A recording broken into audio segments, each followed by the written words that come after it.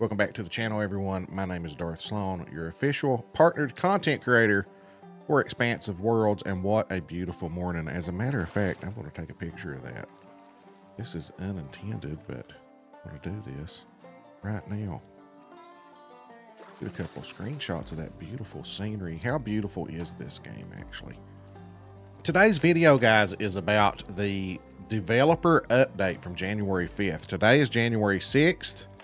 And for whatever reason, this wasn't in the official Angler Discord. I looked, it wasn't under updates anyway in the official Angler Discord. So I kept looking for it on there and it never did pop up as of right now. But this was discovered on their Facebook page, on the official Call of the Wild The Angler Facebook page. It's a new year, and our friends on the dev team is starting to get back to work after the holidays. Today, executive producer Gaz comes with an update on what to look forward to in the future. Check it out here.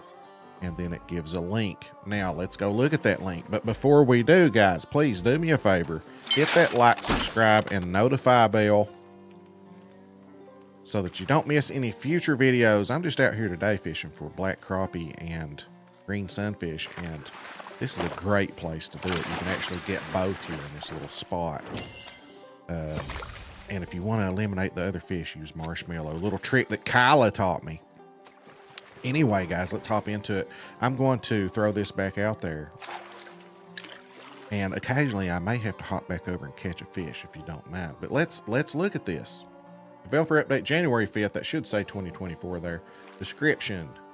Happy New Year, anglers. 2024 has started and we are back at it right away, working hard and eager to bring you some great new features. After a nice break to recharge our batteries, we're excited to keep adding to the Angler. There's so much coming, and it's a joy to be a part of this great team of developers. So, how about some updates? Gaz disclaimer some of these are in early development and some are closer to being finished, so not all of these will be in the next patch, but in subsequent patches in the coming months. Features in early to mid development. Next Reserve. The Next Reserve and all its new fish are really starting to take shape now. Already talking about the new map. This is exciting. It's still in its early phase and needs time. Okay, so it's not coming anytime soon. Don't be expecting it real soon. But we're progressing well and it's really coming along. We'll let you know when we have something cool to show, and we'll be discussing it more in upcoming streams with Jaxie. That's awesome. More fish. Now, check this out. So, we've added new fish to the game already, and people liked that. So, why not add some more? Everyone wants more new fish to catch, right? But where are those fish going to live? It's a new year, so do you fancy a change of hairstyle and facial hair? I mean, why not? How about a new look for your character in 2024 soon? Okay, let's go back to the more fish for a second. Now that says new fish.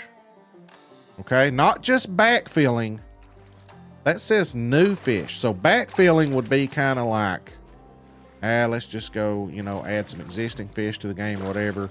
They're adding some new fish. I imagine it'd be a mixture of new fish and some existing fish added to Trosport. That's what I'm calling. Spain's new. I feel like they're just going to, you know, we've already had some backfilling on Golden Ridge, so I feel like this is going to happen to Trosport, but I could be wrong. So I'm excited about that.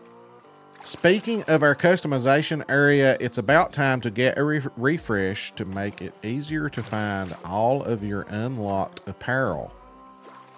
Okay, so we're going to get a UI customization. Float behavior improvements. We want to continue to add depth to the game. With that in mind, we want to improve how the float interacts with the water, current, and wind. Lots of work to be done, but this is already looking good. General fishing gameplay improvements. In addition to the float, we're also continuing to work on all aspects of the core gameplay experience to add depth, refine, and improve where necessary. In addition, we continue to listen to feedback from the various channels to make these great changes to the game. They really do a good job of listening to the community. They've got it set up to where you can you can add those suggestions in there, and and they listen to the community. And you know, people need to realize that just because you want something added to the game doesn't mean it's going to happen. I mean, like there's millions, billions, gazillions of people on the planet, you know, millions of people that play this game that want this or that. It's not possible to add everything and please everyone, but they do their best to put in those things that are most most people are wanting, you know. Uh, they got to play the numbers. They can't just add every single thing that we all want. We need to bear in mind and, and keep that in mind. Um, better ways of playing with friends. Now, this might be the thing that I'm the most excited about. We know this isn't ideal at the moment, and we're working on a new invite system, which will make this much easier to play with friends. I'm already thinking of Tackle Tuesday, and if we can all get on the same map, how sweet would that be? And then when I do my normal streams, when I'm I've got my viewers that I play with all the time, we're all the time seeing people I can't join, it's full, whatever. But if we can make it to where we can invite, oh my goodness, that would be sweet. We got to leave. I don't know how they're going to do that because we have to leave Expansive Worlds in control of the map.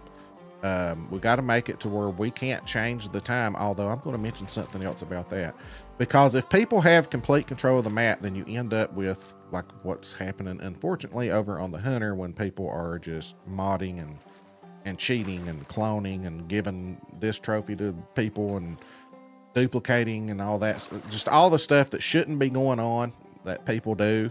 Um, the angler is trying to keep the game with integrity so that people really cherish when they catch an awesome fish. You know, see, that's what you lose when you cheat. You don't get that sense of accomplishment. You don't, yes, I, I caught that finally. You don't get that if you cheated to get it. So, we're trying to keep this game with integrity here. So I commend them for that.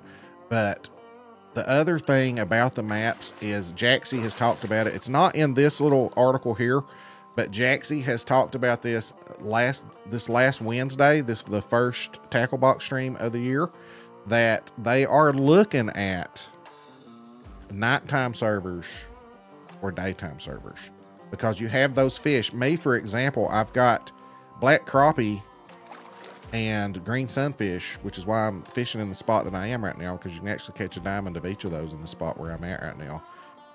So, and I don't care which one I catch first, as long as I get one, then I'll focus on the other one. But my other two fish that I need are shovel nose sturgeon and walleye, and they're nighttime fish. So, how nice would it be to be able to choose a nighttime fish or a daytime?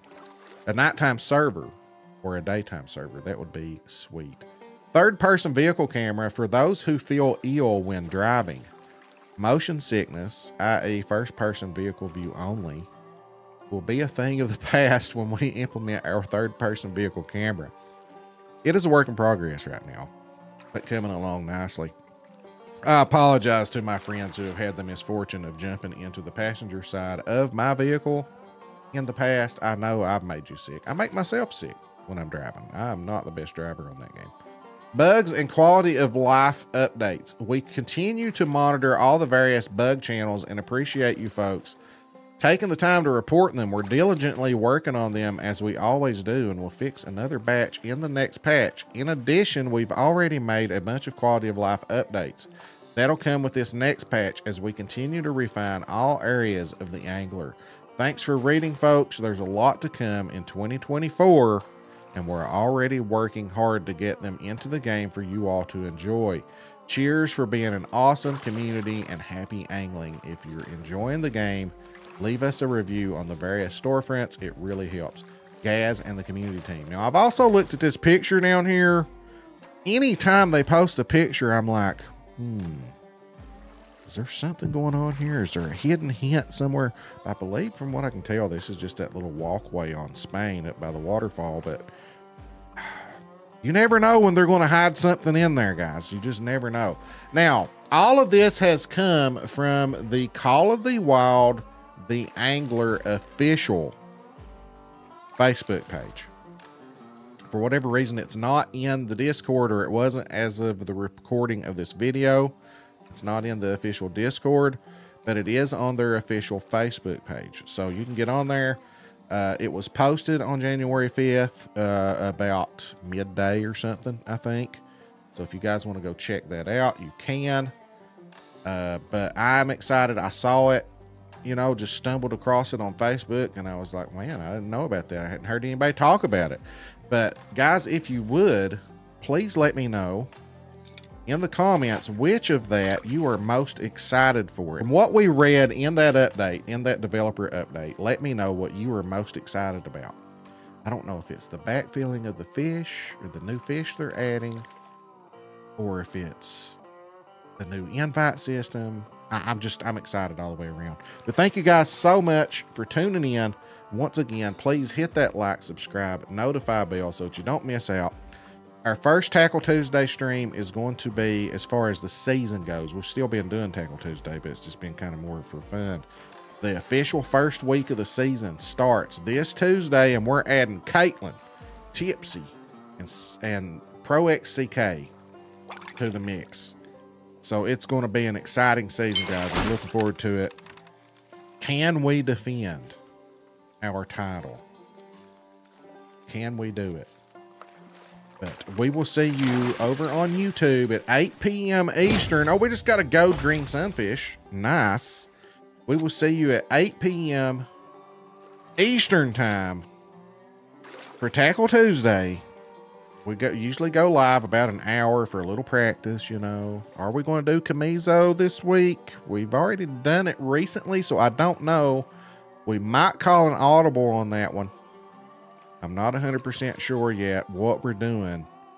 But also, guys, I am now on YouTube Tuesdays, Wednesdays, and Thursdays, three days in a row. Now, Wednesday and Thursday, I go live a little earlier, usually around 5 p.m. Eastern time, 4.30 or 5 p.m. Eastern time on Wednesdays and Thursdays on YouTube. I just wanted to do three days in a row on YouTube, three days in a row on Twitch. Uh, Fridays I normally have off, and Saturday, Sunday, Monday or Twitch. Now Saturdays we stream whenever we can because it's the weekend, so things happen on the weekends. Sundays 8 to 11 Eastern time. Mondays same time slot as YouTube, 4:30 probably 4.30 p.m. Eastern. Uh, will be live. All those on Twitch. So whichever platform you prefer or both, hope to see you guys there. Let me know in the comments, guys, what are you most excited for? My name is Darth Slone. We'll catch you in the next video.